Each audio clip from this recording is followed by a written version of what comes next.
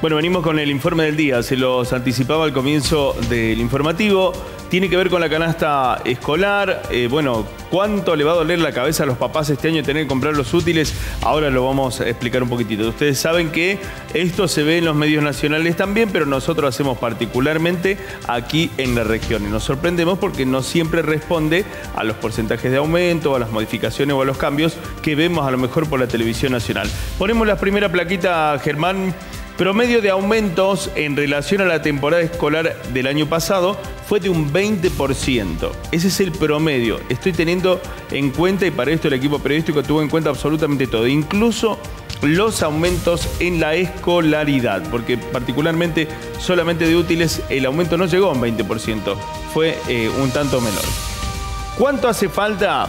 Esto está promediado, ¿eh? para comprar algo de mediana calidad y lo básico, canasta escolar primario, teniendo en cuenta la mochila, son 1.500 pesos. Eso necesita una familia para un alumno. Pasamos a la canasta escolar secundario, ya estamos hablando de 1.500 pesos, ¿sí? Canasta escolar secundario es un poquitito más y esto no tiene en cuenta, sí tiene en cuenta la mochila, pero no tiene en cuenta, por ejemplo, lo que son libros. Eso es muy importante, ¿no? Los libros no están tenidos en cuenta y en el caso de las escuelas técnicas, por ejemplo, el guardapolvo tampoco y demás. Pasamos. Costo de escolaridad privadas. Eh, están en un 1500, en 1.500 pesos perdón, promedio para este año, pero sabemos que algunas privadas incluso superan la cuota mensual los 2.000 pesos. La pública promedio, recuerden que siempre nosotros damos el promedio, 500 pesos anual, un promedio esto de mano de las cooperadoras. Tengan en cuenta que son escuelas públicas que no deben pagar, pero tienen un canon que es como que de alguna manera lo solicita la cooperadora. A cambio de esto siempre hay algún servicio, se entrega la remerita, algunas cosas para los chicos pero más o menos la colaboración que se pide para las cooperadoras de algunas escuelas, un promedio 500 pesos. Hay algunas escuelas que están pidiendo un poquitito más. Bueno, vamos con la primera nota que tenemos el día de hoy, el costo de los útiles escolares. Estuvimos visitando un negocio del rubro, hablamos con Darío, que nos contó un poquitito cuáles son los precios de este año. Mira, en realidad eh, los precios están en cierta medida en relación a lo que han sido los aumentos de la, de la canasta familiar, el aumento de la inflación y demás. ¿Acompaña un poco la inflación? Sí, y en algunos casos te diría que hay algunos artículos que han mantenido precios eh, inferiores a lo que es la inflación.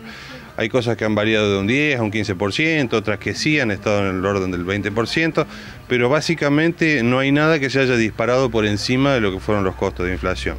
¿Qué dice la gente cuando escuchás que vienen a comprar los papás? ¿Se quejan, reclaman o es lo mismo de todos los años? No, no, básicamente ya es como que están acostumbrados, saben que eh, los inicios de clase vienen con ciertos eh, aumentos o ciertas cosas en los incrementos en las canastas escolares. Mm, ninguno se ha demostrado asombrado ni nada. Sí, o sea, lo que por ahí más cuesta son las cosas por ahí aledañas, como puede ser una mochila o algo que por el monto que tienen, eh, es más significativo por ahí lo que puede llegar a salir. Eh, antes de pasar específicamente a los precios, te pregunto, ¿puede que encontremos algún útil escolar a precio del año pasado? Sí, básicamente, por ejemplo, la línea de cuadernos 1810 tiene el mismo precio que agosto, septiembre del año pasado, no ha habido modificación.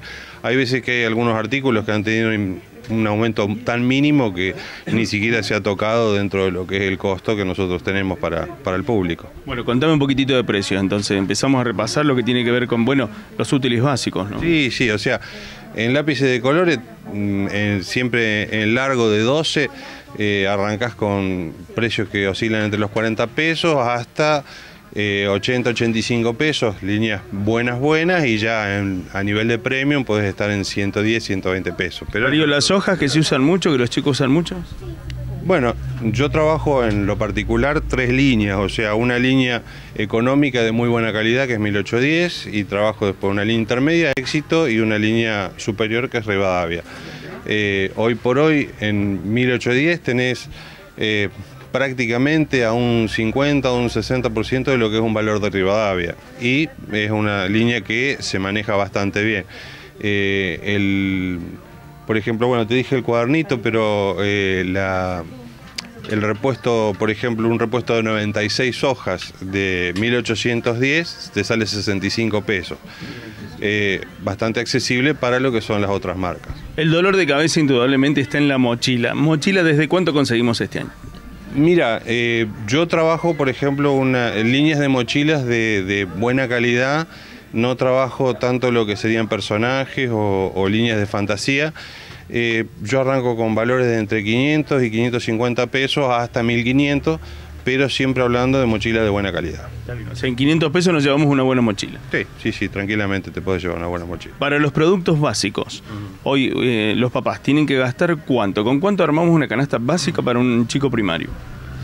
Mira, todo eso depende, o sea, porque hoy por hoy, por ejemplo, ante muchas consultas de los papás, eh, nosotros recomendamos que no, que no gasten eh, si no tienen conocimiento fehaciente de lo que le van a pedir el establecimiento, porque muchas veces los papás pueden llegar a eh, comprar artículos que posiblemente después los chicos no necesiten. Es muy común que en ciertos colegios les pidan, por ejemplo, que quieren un cuaderno tapadura de un determinado color. Si el papá no sabe, compra a lo mejor artículos que después no va a terminar utilizando, entonces gasta doble. Lo ideal es por ahí empezar con algo muy básico, muy sencillo, como el lápiz, la goma, la regla y todo lo demás, que eso sabes que no va a tener problema, y después que esperen un poco qué es lo que el establecimiento educativo en el cual van a asistir eh, le va a, demandar, digamos, entonces focalizan la compra bien a lo que necesitan y de esa manera pueden ahorrar un peso también. Bueno, en estos últimos días estuvimos repasando algunos de los precios. Allí decíamos que es un poco el dolor de cabeza en tema de la mochila, porque aparte los chicos es un elemento que a veces no, no tratan con sumo cuidado y de un año para el otro hay que comprar una nueva.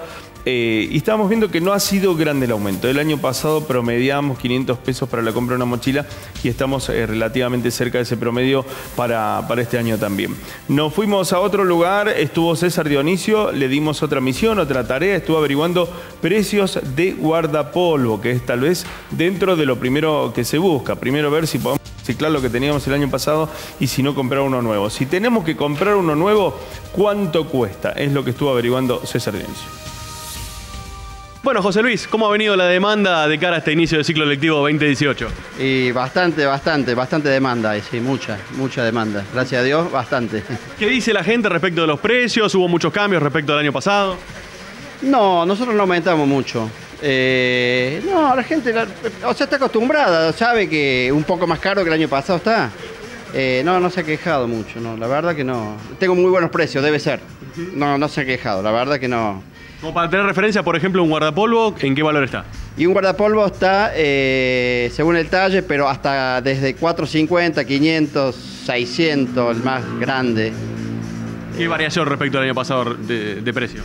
Y nosotros tenemos más o menos un 15% más. no más ¿En cuanto a los uniformes?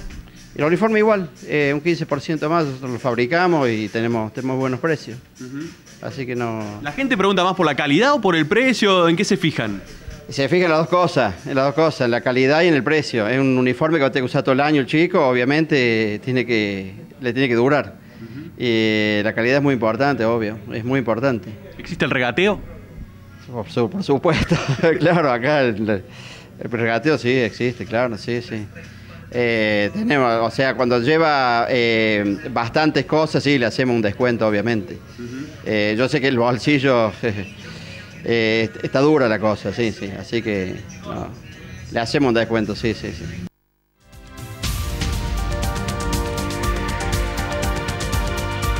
Es una generalidad eh, el día de hoy. ¿no? La gente busca precio en absolutamente todo. Incluso ahora que estamos en época de turismo, ir de vacaciones, siempre la gente regatea un poquito, busca precio para todo. Cuando tiene que ir al súper, cuando tiene que comprar los útiles, canasta escolar, canasta, canasta navideña. Quiero decirles algo, porque se van a dar con que a veces lo que se dice en alguna nota, las notas son referenciales y hablamos para un poco compartir con ustedes las experiencias que tienen hoy los vendedores y cómo, cómo está eh, marchando este tema de la venta de la canasta escolar. Pero van a ver que a veces no coinciden mucho los precios con el promedio final que nosotros damos. ¿Por qué? Porque yo siempre les digo cuando hablamos de temas que tienen que ver con costos o con canastas en particular, hay que andar ¿sí? Nosotros damos precios aquí, a veces se dan precios referenciales, pero hay que andar, por eso los promedios a veces bajan. Vamos a seguir adelante, lo vamos a hacer. Creo que tenemos para repasar algunas plaquitas más, querido amigo Germán. Guardapolvo Jardín de Infantes, desde 100 pesos. No, perdón, promedio, es promedio. Sin bordados, porque ya ahí hay otros costos que pueden ir de los 60 a los 100 pesos. Guardapolvos, lo que les decía recién, escuchamos que decían 400 pesos los guardapolvos. Bueno, señora, como siempre le digo, hay que andar. Se consiguen guardapolvos también en 200 pesos. Pasamos, guardapolvos de escuelas técnicas desde 400 pesos. Nos dimos con esta situación de que hay guardapolvos para eh, escuelas técnicas de hasta 1.200 pesos, pero hay desde 400 pesos. Y mochilas, lo que les decía recién, no han subido mucho las mochilas desde los 500 pesos. Ahí tenemos entonces algunas plaquitas más que están complementando esta información que tiene que ver con la canasta escolar. Lo que se complica a veces también es el tema de los uniformes, que reclaman, eh, eh, piden algunas de las escuelas, particularmente las escuelas eh, privadas, algunas escuelas técnicas. Estuvimos hablando con Analía en una casa especializada que hizo referencia también un poco a los valores y cómo va la venta este año. Ahora estamos a full más que nada con el tema de los bordados. Los bordados de jardín, que vienen, bueno, las mamis a traer los delantalcitos, la servilleta, la mochila, la toallita. Bueno, viene un kit de cinco eh, prendas para bordar.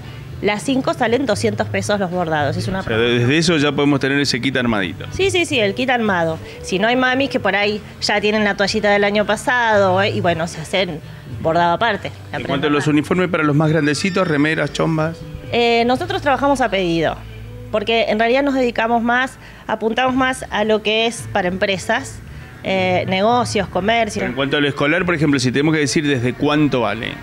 Y tenés distintas prendas. Una remerita, por ejemplo, para gimnasia tenés desde 70 pesos en adelante. Bien, La remera clásica de gimnasia. remera digamos. clásica blanca, sí, tenés. Una, una chomba, uniforme, que ya sea con bordado o impresión. Una chomba tenés desde 300 pesos, 340, 360, depende. Bueno, depende. algunas escuelas piden campera también, ¿no? Y las camperas también. Hay camperas de deportivo, frisado, que es muy linda tela. Y después tenés las camperas un poquito más abrigadas de polar. Eh, esas rondan más o menos los 500 pesos, 450, depende de- también de los talles y del colegio. Bien. Si tenemos que hablar del incremento del año pasado a este año, ¿en cuánto puede estar? Si es que lo hubo, ¿no? No, muy poco, un 15%, ponele. Bien, por debajo de la inflación entonces. Sí, sí, O sea tratamos. Está de- accesible, la gente no se queja. Sí, la gente se queja, Bien. siempre se queja, pero bueno, uno trata de... Nosotros al fabricar por ahí también tenemos buenos precios, no es que compramos en un lado y lo revendemos, en realidad hacemos el producto desde cero, desde ir a comprar la tela, venimos acá, lo cortamos, lo mandamos a coser, si hay que hacerle un logo bordado se borda, lo hacemos acá, eh, o hay que hacer serigrafía, la serigrafía es muy linda porque eh, permite hacer dibujos grandes sin que sea un bordado y que quede todo feo apretado. ¿Y la demanda cómo es este año? ¿Similar a esta altura del año pasado? Eh, está parejo, está parejo. Más o menos. lo mismo. Sí, está parejo. Sí, siempre están las mamás a último momento que se olvidan del uniforme y vienen el día anterior y medio como que por ahí si te quedaste sin ese talle tenés que fabricarlo de un día para el otro. Ahí es donde se complica, pero no, viene parejo.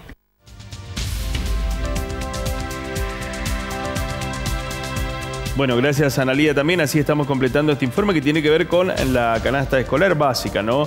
Y tengan en cuenta ustedes que hay algunos elementos que no hemos puesto aquí, como tiene que ver con equipos de gimnasia, zapatillas y demás, que se suma a ese presupuesto que hay que tener en cuenta para el inicio escolar. Lo que pasa es que esto es gradual a veces y se hace en estos primeros meses en base al pedido, como lo decía también alguien por allí, como lo decía Darío, y también eh, tiene que ver con el pedido de los libros, que seguramente modifica esta canasta escolar. Como siempre, para redondearles, señora, señor, hay que andar, hay que caminar y se consigue mejor precio. Nos vamos a compartir la pausa ya entrando en la recta final de Informe 4.